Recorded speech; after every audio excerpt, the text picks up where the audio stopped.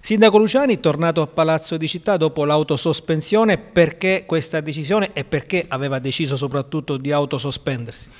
Intanto si trattava di un'assenza, quindi una comunicazione di un'assenza che eh, ai sensi del TUEL eh, diciamo, conferisce poteri al vice sindaco così come è stato in questa settimana.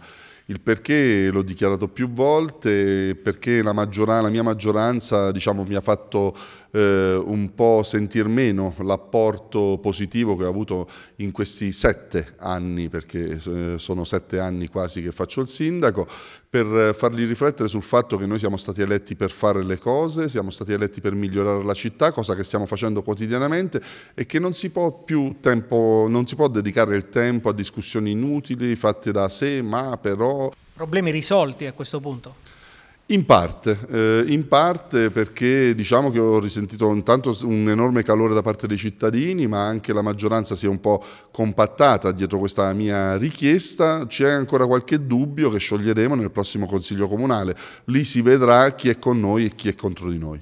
Per il futuro eh, lei aveva parlato tempo fa di una sua possibile candidatura alla Regione, tutto tramontato oppure questo pensiero, questa volontà eh, c'è sempre? Io ho detto una cosa, ho detto che ero a disposizione, a disposizione di questo territorio perché mi sentirei pronto a fare questo salto. Chiaramente ci devono essere i presupposti.